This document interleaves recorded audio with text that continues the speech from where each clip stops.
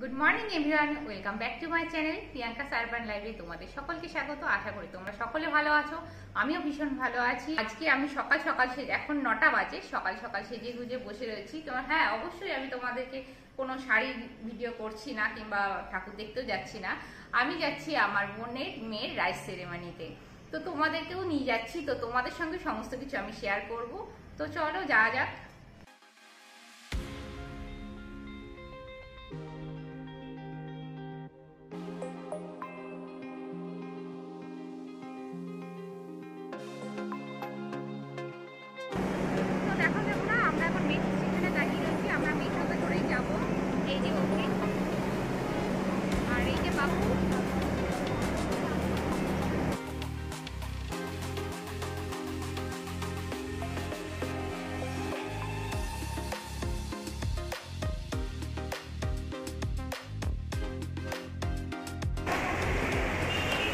দেখো আমরা মেট্রো থেকে নেমে পড়েছি। এবার আমরা রিক্সা কিংবা একটা অটো ধরে যাব। তো দেখো আমরা এখন রিক্সাতে উঠে গেছি।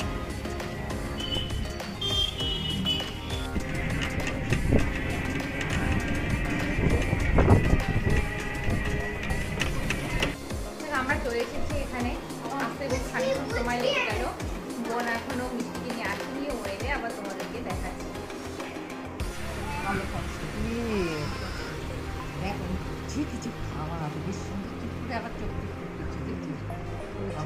পেয়েছে ওর মা ভালো করে খাওয়াচ্ছে না। আর ও লোক দেখে ওইদিকে মুখ করে। দেখাচ্ছে।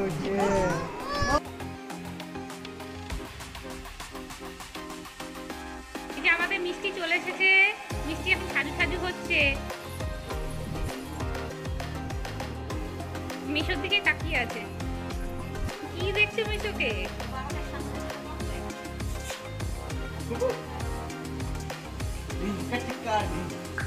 এই যে এই যে এই যে। এই যে এতক্ষণে তাকিয়েছে এতক্ষণে তাকিয়েছে। হেলান দিয়ে বাবা, লাল জামাটা পরে খুব সুন্দর লাগছে।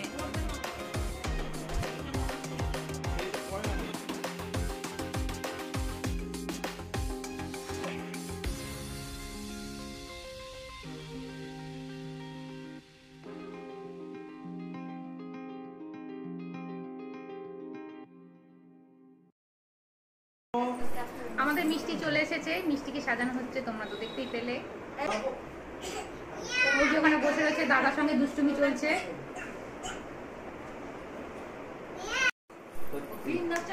তোমাদের সাথে পরিচয় করে দিই এটা হচ্ছে আমার বোন আর বোন সেজেছে দেখো আমি শাড়িটা পরিয়েছি। সুন্দর করে। সুন্দর আর আমার বোনের বর। আর আমার বড় মাসি বড় মাসি তো ঘরের মধ্যেই কাজ করে বসে রয়েছে। মাসি, একটু মাছটা নামাও। যে আমার বড় মাসি। আর এখানে দুষ্টুমি চলছে দাদার সাথে।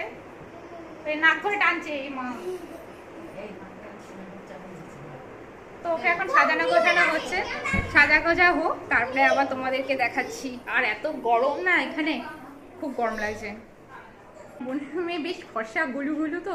আর লাল রঙের একটা ড্রেস পরেছে, ওকে খুব সুন্দর লাগছে। চলো, আজকের দিনটা আমি তোমাদের সঙ্গে শেয়ার করব আমার মা এখানে দাঁড়িয়ে আছে সেজে গুজে। আর এখানে খেলা খেলা হচ্ছে বাচ্চাগুলোর এটা বাবু আর এখানে আর একটা বাচ্চা মেয়ে আছে তার সাথে এর খুব মিষ্টি খুব মিষ্টি এই মেয়েটাও। ওর নাম কি? নাম বলো। কত বড় হয়ে গেছে আমি যখন দেখেছিলাম ও কত ছোট ছিল।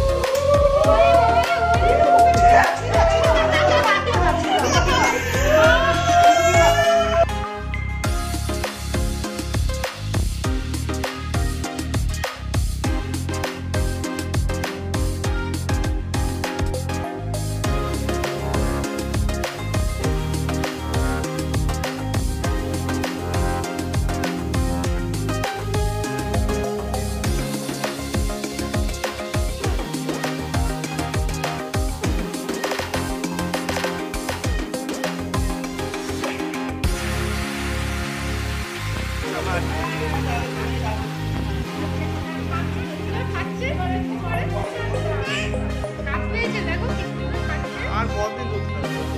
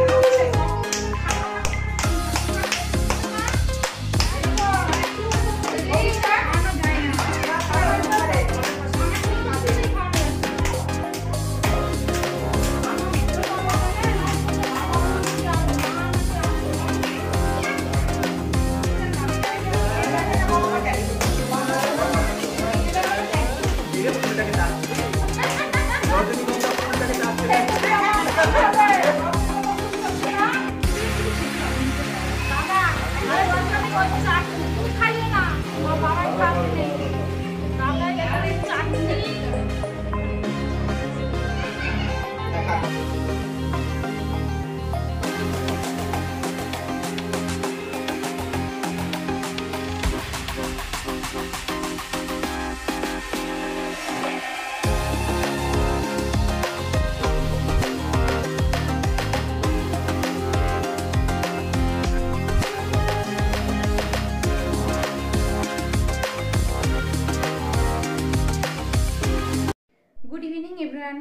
বাড়ি, এখন বাড়িতে চলে এসেছি।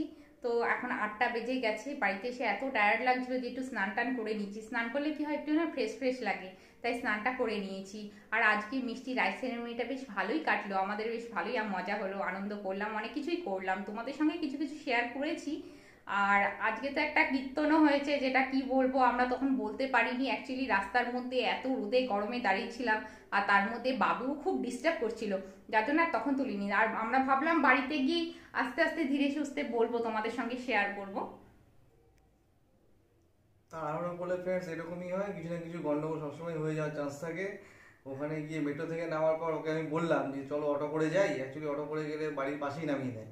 কিন্তু ও একটুখানি অটোতে লাইন আছে বলে দাঁড়াল না করে আর কি বলো এত গরম ছিল তার মধ্যে ছেলেটা না পারে না গরমে থাকতে ও খুব ছটপট ছটপট করে সেই জন্য আর আমি রিক্সার কথা বললাম। কারণ লাইনে দাঁড়িয়ে থাকব যদিও বেশি লোকজন ছিল না তিন চারটে লোকই ছিল তবুও ওই জন্যই গন্ডগোলটা হলো। কি করল? ভুল করে অন্য এক জায়গায় অন্য অ্যাড্রেসে নিয়ে চলে গেল।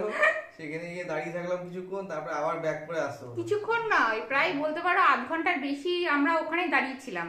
তারপরে আমার ব্রাদার ইন লকে ফোন করা হলো তো সে বলল আমি আসছি। সে আবার অন্য এক জায়গায় গিয়ে দাঁড়িয়েছিল। অ্যাকচুয়ালি ক্লাবের নামটা না অনেক কটা ক্লাবের নাম ওরকম কাছাকাছি একই রকম।